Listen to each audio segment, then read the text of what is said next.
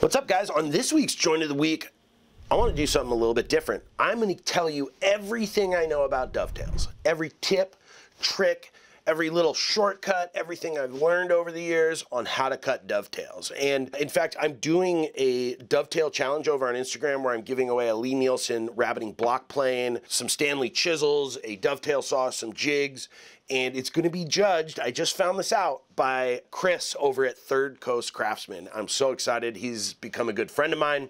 Uh, we've got some things in the works that we're going to be working on together, but he's going to be judging it over on Instagram. There'll be a link right down here below you can go check out that uh, contest and win this beautiful $400 dovetail prize pack. So let's get into the dovetails. And the first thing that's really important is that you mill your material. It doesn't have to be the same thickness, but it does have to be square. Has to be square. And so make sure when you're milling that the two mating faces are square to each other. Uh, the next step is we're gonna head over to the table saw. I'm gonna show you a little trick for hiding the inside of your dovetails. So the first step when you're doing dovetails is decide where your pins and tails are going to be. So we're just going to label these boards. This is going to be T for tails, P for pins. Sometimes when I'm doing a box, I'll do PA and TA and TB and PB, and that way I know which goes where. But one of the things I always like to do if I'm using the same type of wood is I do the grain match. So you can see this grain lines up perfectly here. Now, the first thing that I always do when cutting dovetails is I cut a little rabbet into my tails board. And what this does, it allows you to hide the inside of your tails because sometimes you'll get little blowout along that line or it won't be that clean. So if you do a rabbet, not only does it give you a 90 degree reference here, but it also can hide the inside of your pins and tails and makes your box look a lot cleaner. So we're gonna use our marking gauge here to set the depth of that rabbet and that is always going to be the width of your other board. So I all I do is I just put my marking gauge on top of my board here, lock it down, and then I just check and make sure that it is correct, and it is. I'm gonna micro adjust it a little bit on the wide side, so that way it'll, instead of it being proud, it'll be the opposite of proud. I can't think of that right now. So what that means, because it's our tail board, we're gonna mark all the way around the board.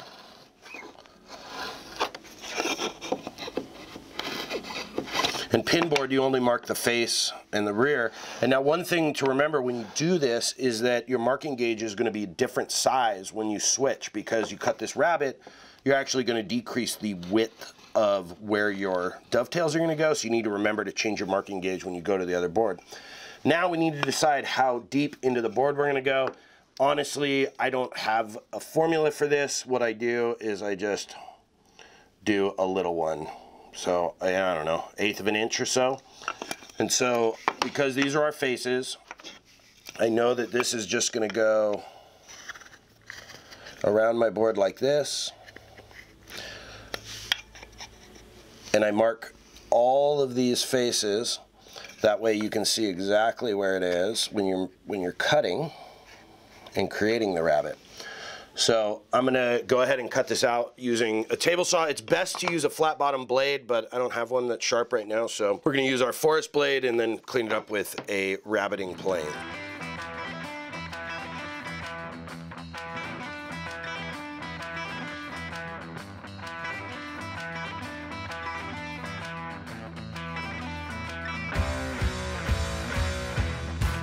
So before we get into this, let's talk about the tools you need and the tools that are great to have.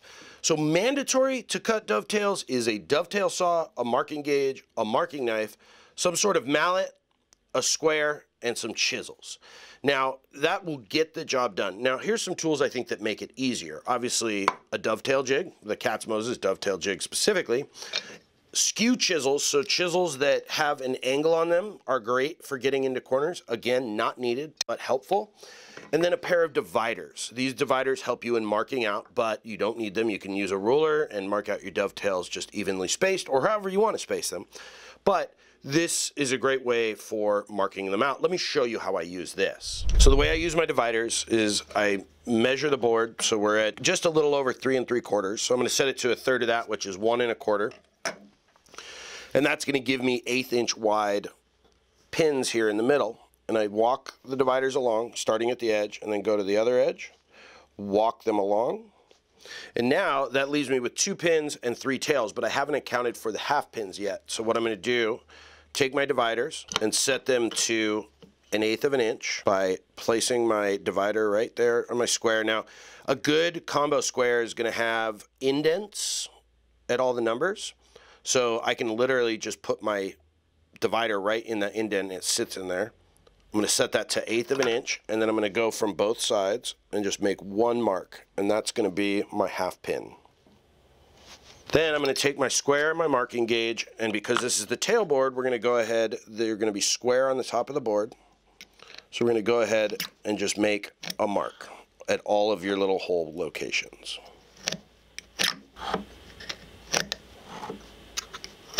Just going to place my marking knife right in the hole and then slide my square up to it. And there we go. Now we have those marked out. One thing that's very helpful, especially when you're beginning, is to mark out your waste. Now we're gonna cut our tails. And one thing to think about when you're dovetailing is no matter what kind of saw, even a very thin one like this Japanese dovetail saw, it's gonna have tooth set on it, which means one tooth is gonna be on this side and one tooth is gonna be on this side and they alternate. Why a marking knife line is so great is you can put one side or the other in your marking knife line. I consider my marking knife lines like my neighbor's fence. I can touch it, but you can't go over. So what that means is when you go to put your teeth in, you don't just put your saw in the line. You put the correct side of your saw in the line. So you can see here, just the left teeth are not in the line. If I were to put the left teeth in the line, look how big of a difference this makes. That's over another 64th of an inch, which a 64th of an inch in a dovetail is going to be a big gap. So make sure you're cutting with the right side of your teeth. So now I like to cut with my show face towards me. And I'm going to use the 8 to 1 dovetail jig here uh, because we're doing hardwood, so that's my preferred method. So when I get my saw started, I put the correct side of the saw in the line, and I use my thumb, and I hold it sort of at an angle, and just do one backward stroke. And that just helps me kind of establish where I'm going to cut. And then I take my jig, sliding it up to it, and then I just use consistent strokes, have my arm go in the same way each time. And with my show face towards me, I can see when I get down to the line that people are gonna see. And then I can check here in the back and we're just perfect right there. So now what I'm gonna do is cut every line that goes this way and then flip my board around.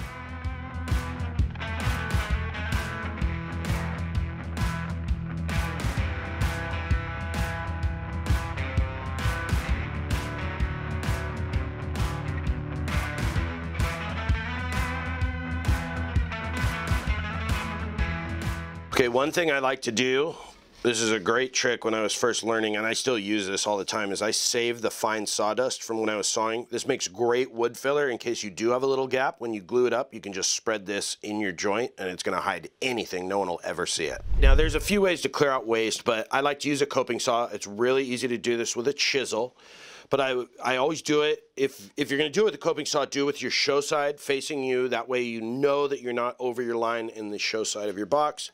And you very simply go down and try and get as close to your line without going over. And the closer you get, the easier it's going to be when you get to your chisel portion. Just like that. Same thing over here.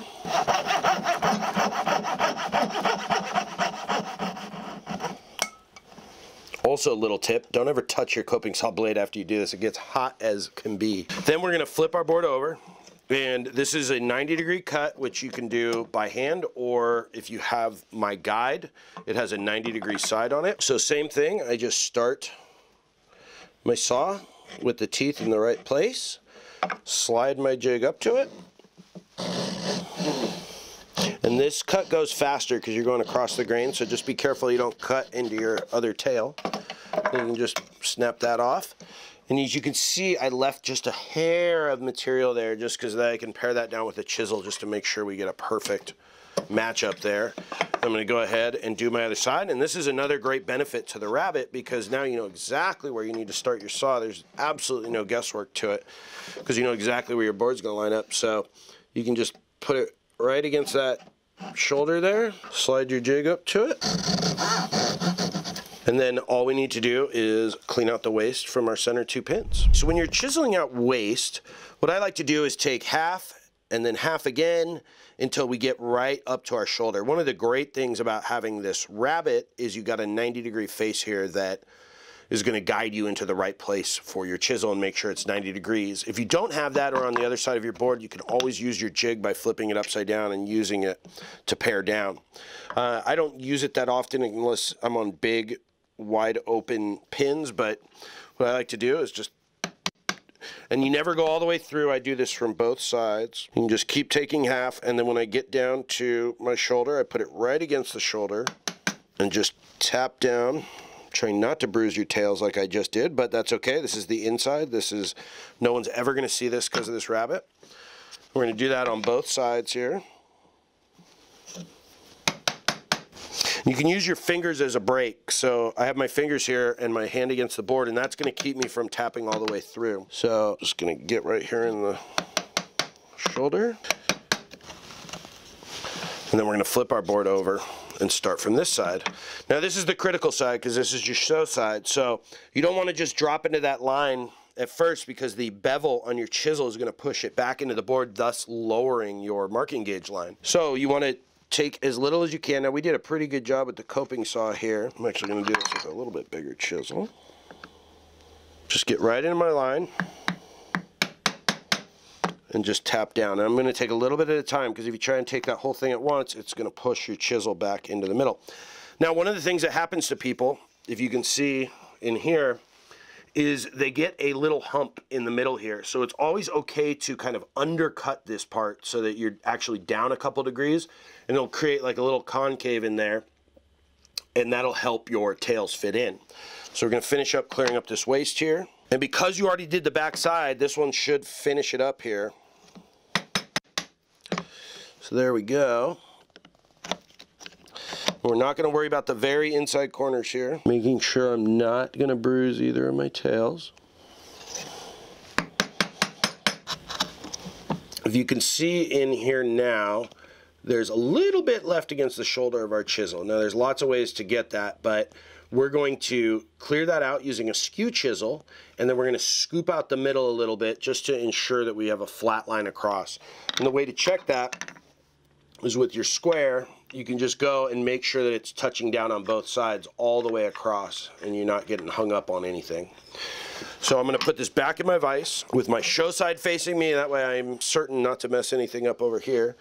And I'm just going to use my skew chisel to get those corners nice and clean. Again, skew chisel not mandatory. We're just going to scoop out the middle just a little bit. And that's looking pretty good. I'm going to use a little bit of a bigger chisel here to just make sure that we're all the way down. And again, you can scoop out in here too because no one's ever going to see the inside. So if you're getting hung up in there, you don't be afraid to scoop out the middle. And then the very last thing to do is your shoulders, which I like to do in the vise. And when you have a rabbet, you can really make sure you can see that you can use the, the flat of the rabbet to really make sure that you are down where you need to be there. And the most important thing when you're doing this is sharp chisels. That If you don't have sharp chisels, you might as well not do dovetails because that's what really makes all the difference in the world. It really, really does. So we're to go ahead and do this shoulder here. We have our tails perfect. It's time to mark them onto our pins.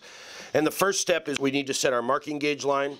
So we do that by using the width of our tails. And remember, we cut a rabbet, so it's going to be different.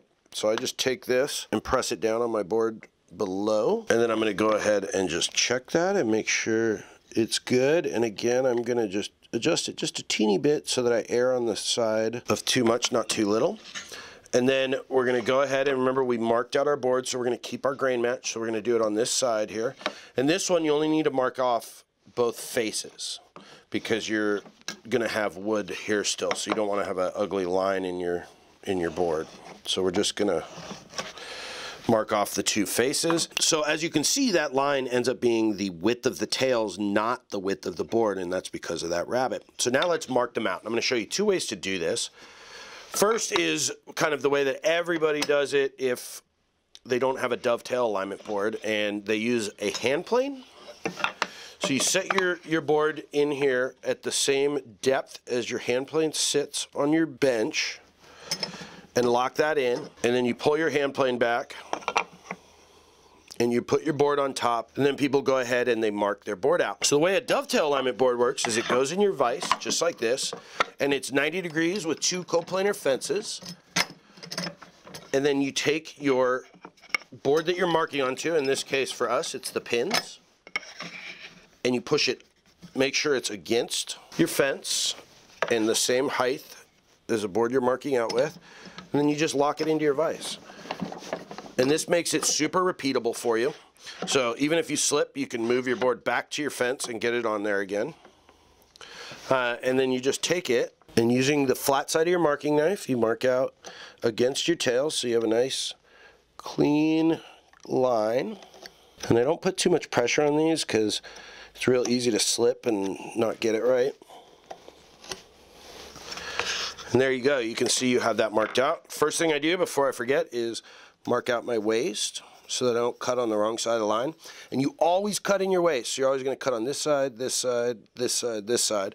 You always want to be in your waste with your dovetail saw with those two teeth. So let's go ahead and start cleaning these up. Now I'm going to go ahead and cut my pins. I'm going to put my board in my vise here. And my dovetail jig has two pin sides on it. So what I like to do is I cut the first three going this way because I'm right-handed and I flip the board around and cut the other three going the other way. And so what I do here is I set my this is our waste side, so we need to be on our waste side. And one of the great things about using a jig is you can cut right up to the line. With a little practice, you won't have to chisel out the sides of your pins or your tails. So I just make sure I'm in my waste side here. I give my saw just a little bit of a head start by doing one forward stroke, and then I slide my jig right up to it.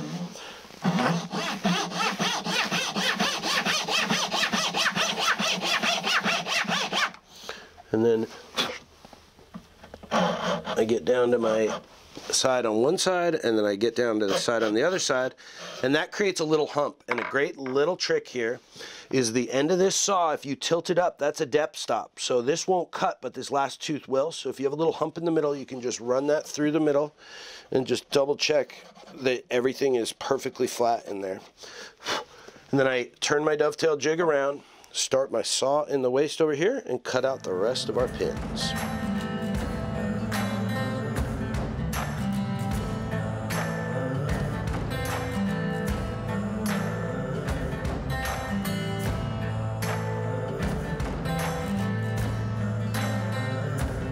Thing to be careful about when you're chiseling here is that these are obviously at an angle. So when you're coming in from your show side, make sure that you're coming in also at an angle so you're not messing up your pins. And then when you're coming from back here, remember that they angle out the other way, so just be, be very careful. But I always do my show side first, establish that line, and then make sure that I don't go over from my back side. But again, this is going to be hidden in your rabbet, so you can be you can fudge a little bit back here if you need to. So let's go ahead and start on our show side.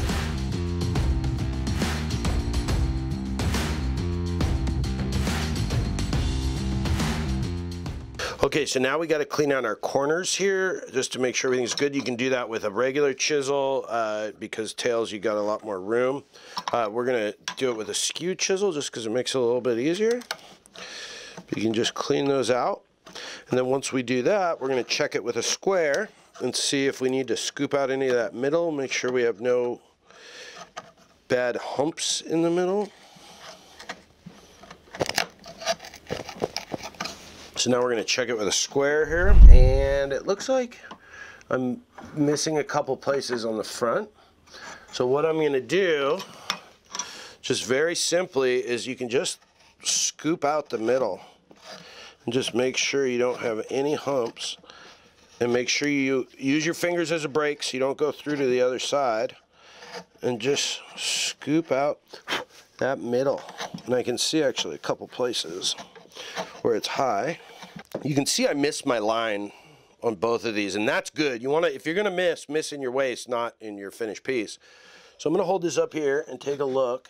And you can see that both of these are a little big where I missed my line. So this is actually really easy to fix. Just take your dovetail jig here, take your widest chisel, and you just put it right in that marking knife line. You want to take as little as possible here. But your dovetail jig is going to be the perfect angle. So I'm not even going to take that line right now. To just take a little teeny bite at a time. We just chop that off. And as you can see, I got right down to my line here. I'm just going to clean that up a little bit. Same thing here. And then check your fit. It's always better to go slower than faster here. Oh man, that's right about to go. What I like to do is kind of press it down and then you can see if you have any, like right there, you can see it's kind of pushing some of that wood away. So then we know that right there is still a little thick. This is something I forgot to mention. It's also useful is just some files. And you want files that don't cut on the edges. Like this one cuts on one edge but not the other. So that's the edge I put down towards my board. And I'm just going to give it just a little rub here. We're so close that I don't want to try and cut it with a chisel because I know I'm going to go over. So I just give it a little rub, both sides. You're really just even smoothing out the saw marks. Okay, now we're to go ahead, trying our fit again. I can already tell that's fitting way better. I can feel this is proud a little bit over here, which means we still need to just, this one's good, but this one over here is a little proud. And so I'm gonna look at two things here. One, I'm gonna look at whether the pin itself is square, and it looks like I might have got a little wonky on that. So I'm going to just take my square here and look, if you look real close, you can see that I got a pretty large slant to that one. So what we're going to do to bring that in square again, we're going to take our tailboard and stick it in our vise so that it's perfectly level with our pin board. Just like that. I'm going to lock my vise in. And then we're going to use our jig as a chisel guide again. And we're not going to cut the top, we're just going to cut the bottom and square that back up. A little bit more. We're real close now, so I don't want to risk it with the chisel.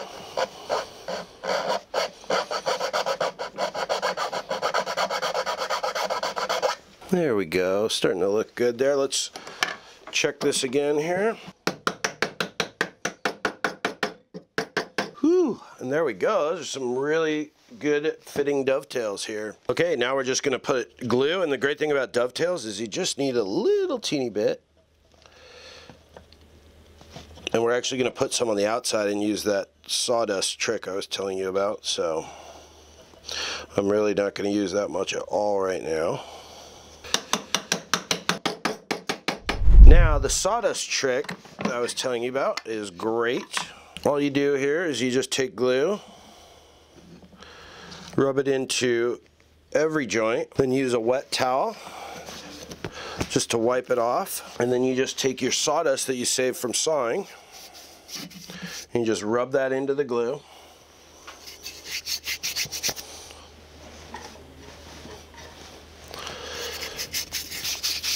And then when you go to sand it, you just give it a light sanding. All right, I'm gonna let that dry for about 30 minutes. We'll give it a quick cleanup, a little sanding, and then uh, put some lacquer on it, and we'll finish this guy up.